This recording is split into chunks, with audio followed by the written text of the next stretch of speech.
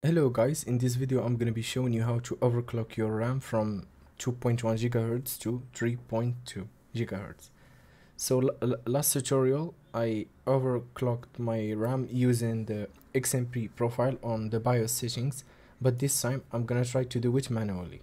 So since I have a Corsair RAM uh, 3.2 GHz uh, I'm gonna head to this website just to see the technical specification for my RAM.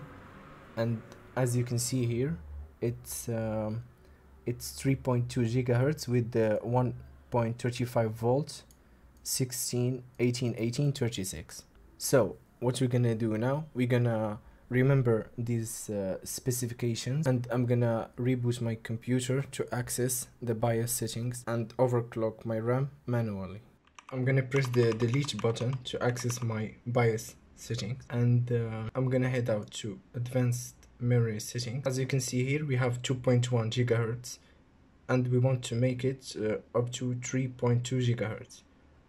We're gonna go to advanced memory settings and uh, as you can see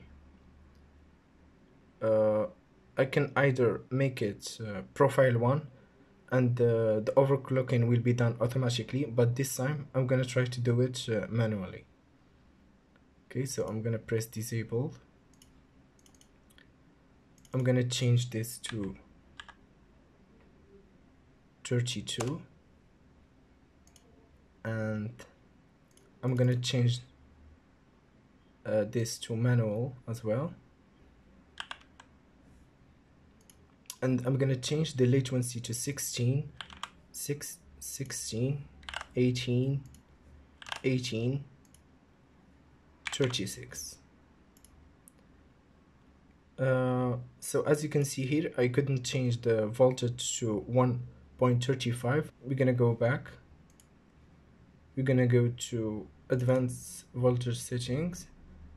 And we're gonna change this one to 1.35 so now just to recap we changed the voltage here and uh, on the memory settings uh, we changed we disabled the, the XMP profile and we changed the memory multiplier to 32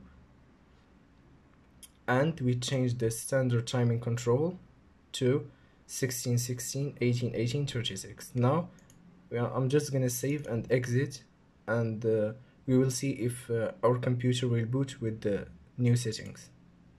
Hello again guys, uh, I just rebooted my computer. Now I'm gonna check if our RAM was overclocked. And as you can see, it's overclocked now. We have 3.2 gigahertz instead of 2.1.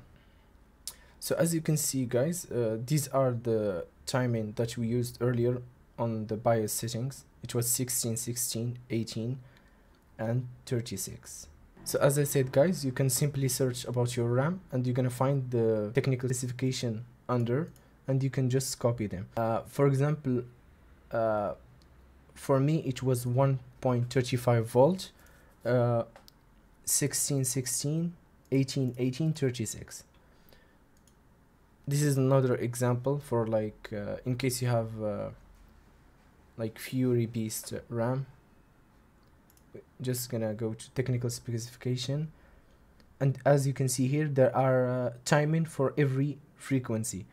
For example if your uh, if your motherboard doesn't support uh, uh 3200 megahertz you can simply go with the 3000 megahertz and use the the following timing as you can see here.